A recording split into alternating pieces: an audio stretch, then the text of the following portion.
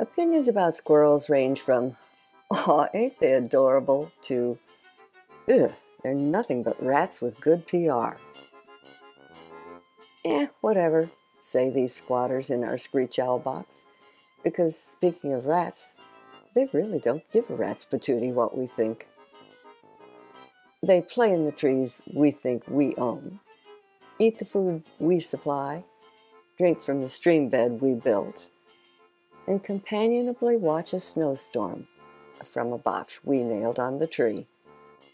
Oh, sure, there's some jostling for position, but that's just kids bumping shoulders for the best view of the parade.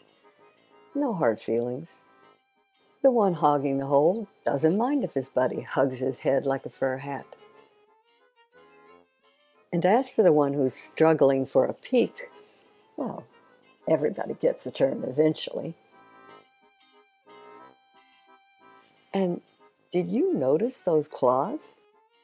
It's no wonder he can climb a tree as effortlessly as a skateboarder on level asphalt.